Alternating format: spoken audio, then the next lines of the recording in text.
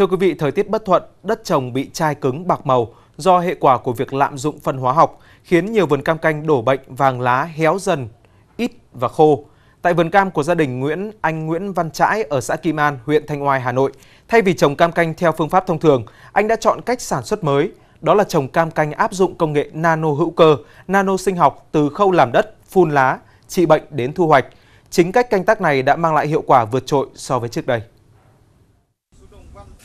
Đây là vườn cam canh rộng hàng hecta của gia đình anh Trãi. Nhìn những cành lá xanh tốt này, ít ai biết được chỉ cách đây 9 tháng, vườn cam canh này suýt bị đốn bỏ do bệnh vàng lá. Bắt đầu là làm từ Tết đến bây giờ thì nói chung là mình làm cái à, phân sinh học này thì cái lá cây với cả cây cây nó thấy nó cũng cũng cũng cũng cũng khác khác so với thằng phân hóa học trước đây là và đồng thời nó sinh lại coi như là cho cái cây trồng nó phát triển hơn.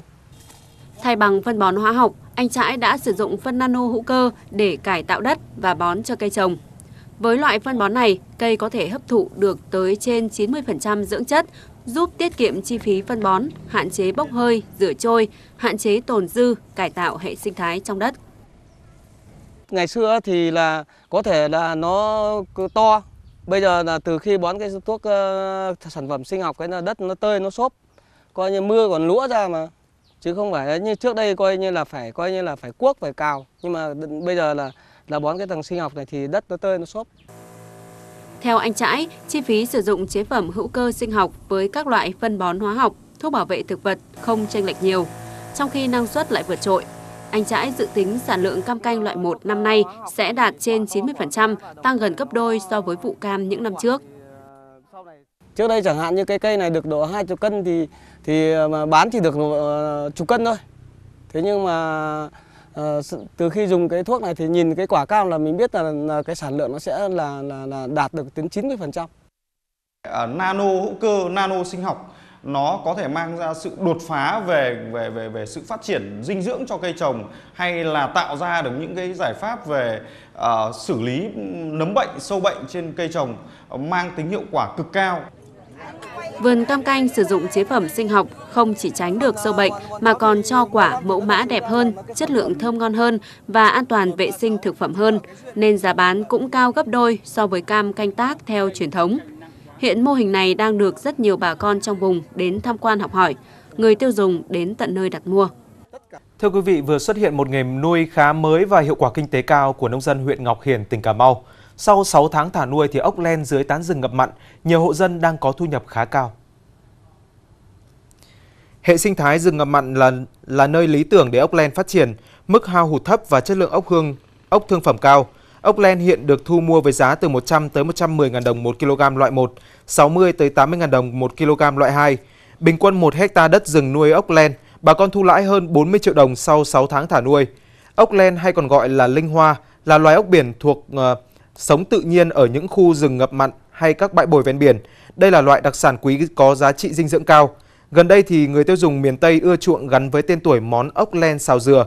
Huyện Ngọc Hiển, tỉnh Cà Mau đang chỉ đạo các ngành chuyên môn hướng dẫn người dân kỹ thuật nuôi, tìm nguồn giống đảm bảo chất lượng nhằm phát huy hiệu quả mô hình kinh tế này.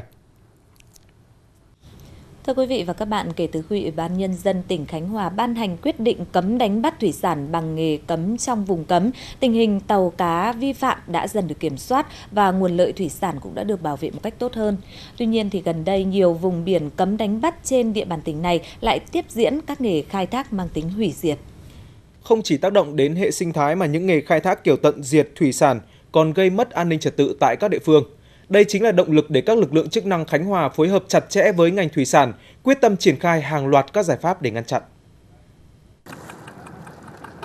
Từ giữa tháng 8 đến nay, tại vùng biển thuộc Vịnh Vân Phong liên tục xuất hiện nhiều tàu giã cào.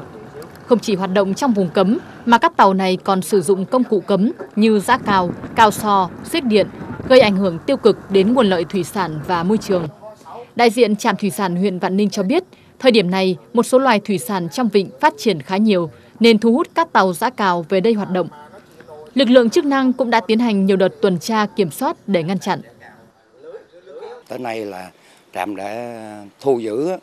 là 17 cái lồng cầu sò và 5 cái bộ lưới giả cào trên địa bàn. À, biển nó là đói quá thì à, bà con cũng lén lút mà hoạt động à, cái, à, những cái ngờ cấm này.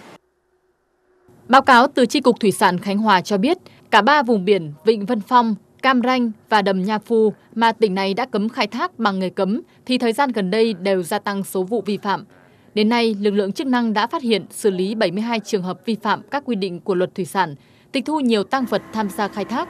Thế nhưng giải pháp này vẫn chưa đủ sức ngăn chặn các tàu khai thác vùng cấm, do lượng tàu đánh bắt gần bờ hiện rất đông, với hơn 7.300 tàu cá dài từ 6 đến dưới 12 mét. Thứ nhất là nghề dây kèo thì nó ảnh hưởng gì môi trường. Dù ờ, cái môi trường đánh bắt nó bị hạn dị hiệp dầu, cũng muốn là nhờ nhà nước ờ, hỗ trợ để mà chuyển đổi ờ, cái nghề khác đánh bắt hiệu quả hơn. Trong khi đó, các chính sách khuyến khích chuyển đổi nghề được triển khai thời gian qua tại Khánh Hòa vẫn chưa mang lại hiệu quả. Các tàu gần bờ vẫn tranh thủ ngày biển động để hành nghề giã cào với số lượng lớn tàu đánh bắt cùng lúc, khiến lực lượng chức năng gặp nhiều khó khăn. Mới đây, để bảo vệ nguồn lợi thủy sản ven bờ, thực thi luật thủy sản và triển khai các biện pháp chống khai thác thủy sản bất hợp pháp, Sở Nông nghiệp và Phát triển Nông thôn tỉnh Khánh Hòa đã đề xuất Ủy ban Nhân dân tỉnh Khánh Hòa thành lập lực lượng kiểm ngư cấp tỉnh. Sau này sẽ là lập những cái trạm kiểm ngư để mà từng địa phương một có những trạm ngư túc được thường xuyên ở trên cái cái cái từng vùng biển của từng, từng huyện ở trên tỉnh Khánh Hòa để mà quản lý chặt chẽ cái cái sự đánh bắt bất hợp pháp chẳng hàng gia cào và những cái đánh bắt mà coi là không thân thiện môi trường chẳng hạn như là dùng chất nổ súng độc xung điện chất độc đó, để khai thác thủy sản.